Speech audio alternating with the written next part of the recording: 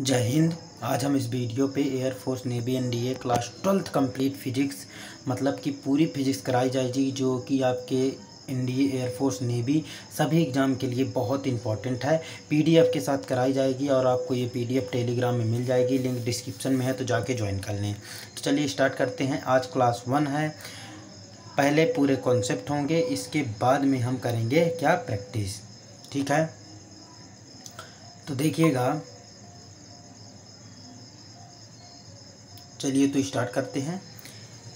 तो यहाँ पास हम बता दें फिजिक्स का क्लास वन है और यहाँ पे चार्ज एंड इलेक्ट्रिक फ़ील्ड जो आपका चैप्टर वन है फिजिक्स का क्लास ट्वेल्थ का इलेवेंथ का, इसके बाद होगा, उसका पार्ट वन लेके आए हैं। तो तो चलिए बने रहिए वीडियो पे वीडियो पूरा देखिएगा, तभी आपको समझ में आएगी। चलिए स्टार्ट करते हैं। आगे बढ़िए।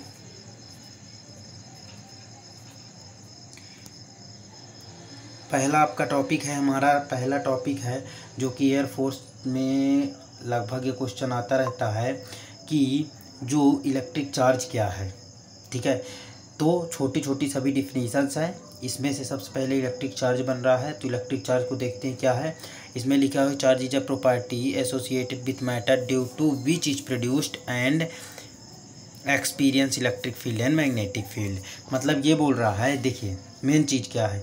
ये डिस जो आपको डिफिनीसन कंपटीशन में ज़रूरी नहीं है, केवल आप ये जानिए चार्ज क्या है तो देखिए चार्ज क्या है। इसमें ये दिया हुआ है कि चार्ज जो है एक ऐसा प्रोडक्ट है जो कि प्रोड्यूस होता है और एक्सपीरियंस करता है इलेक्ट्रिक फ़ील्ड और मैग्नेटिक फ़ील्ड को। मतलब ये कि आप इलेक्ट्रिक फ़ील्ड और मैग्नेटिक फ़ील्ड जो आप क्लास ट्वेल्थ में पढ़े थे तो वहीं पे जो इलेक्ट्रिक फ़ील्ड और मैग्नेटिक फ़ील्ड इफ़ेक्ट होता है, उसी को चार्ज बोलते हैं। मतलब ये ये मान लीजिए इलेक्ट्रिक फ़ील्ड इस प्रकार बनी हुई है और ये मैग्नेटिक फ़ील्ड है।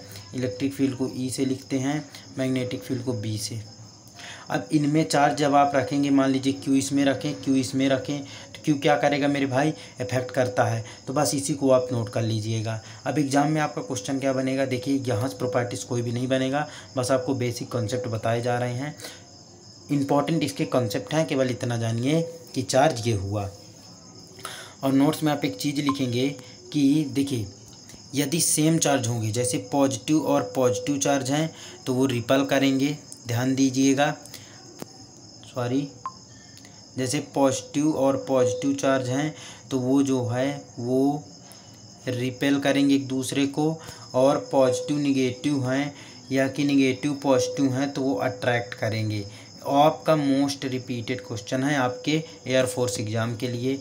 पॉजिटिव पॉजिटिव चार्ज या निगेटिव निगेटिव चार्ज मतलब ये कि सेम चार्ज जब होंगे तो रिपल करेंगे और सर अलग अलग चार्ज होंगे तो क्या करेंगे? अट्रैक्ट करेंगे। ये आपके लिए बेसिक चीज़ें हैं। इतना चीज़ आपको तो पता होगा। ठीक है? और इस चार्ज वाले टॉपिक से सबसे इंपॉर्टेंट यही है कि सेम चार्ज जो होंगे वो रिपल करेंगे और जो अदर चार्ज होंगे पॉजिटिव निगेटिव तो अट्रैक्ट करते हैं। इसके बाद में कंडक्टर और इंसुलेटर क्या होता है? तो छोटी बात में बोलता हूँ कंडक्टर वो चीज़ है जो इलेक्ट्रिक फ़ील्ड जिसमें पास हो सकती है इंसुलेटर वो चीज़ है जिसमें इलेक्ट्रिक फ़ील्ड पासेस नहीं हो सकती हैं। तो यहाँ पे डिफिनीसन लिखी डिफिनीसन आपको पढ़ लेना है।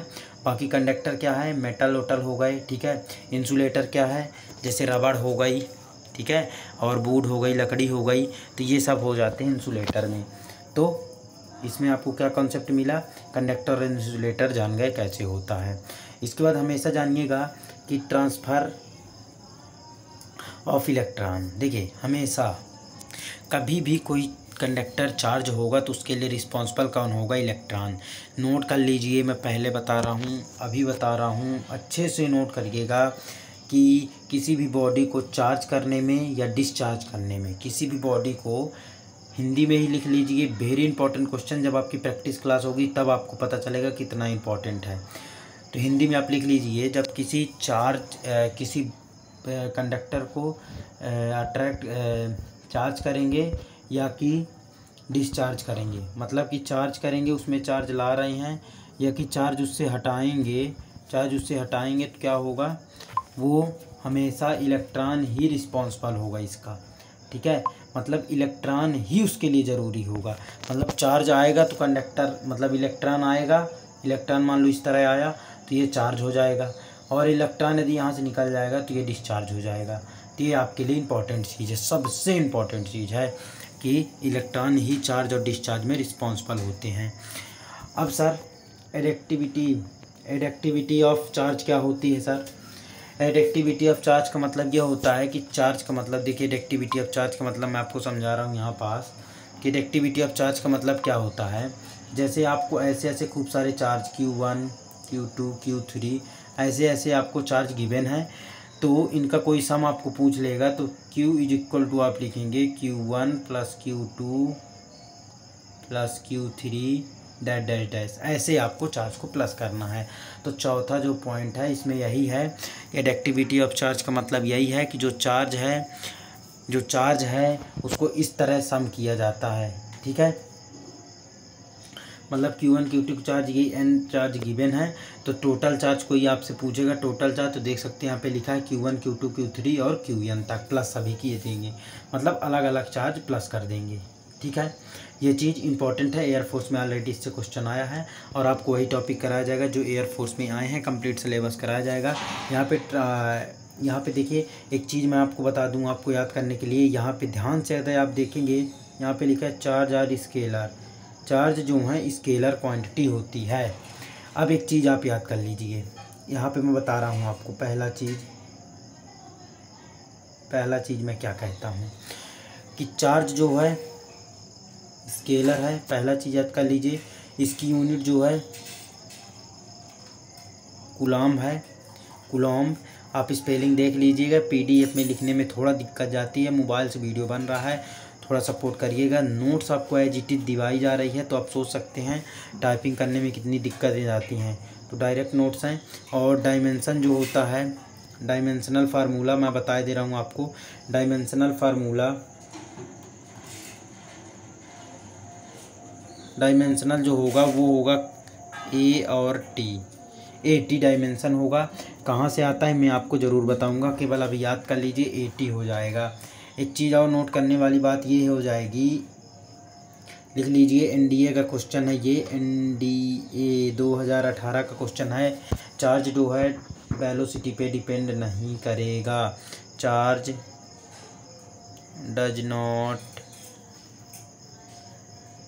depends on velocity charge velocity पे डिपेंड नहीं करता है।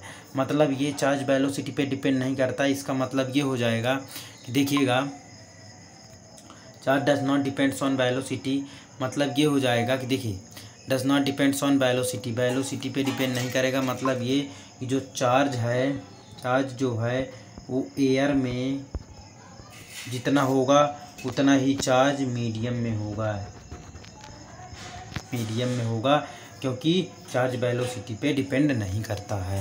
चार्ज क्या करता है? वेलोसिटी पे डिपेंड नहीं करता है। मतलब ये कि जितना एयर में चार्ज होगा, मान लीजिए कोई चार्ज है, वो एयर एयर पे आपको क्वेश्चन इस प्रकार इससे बना था कि कोई चार्ज है एयर में वो पाँच गुलाम चार्ज है।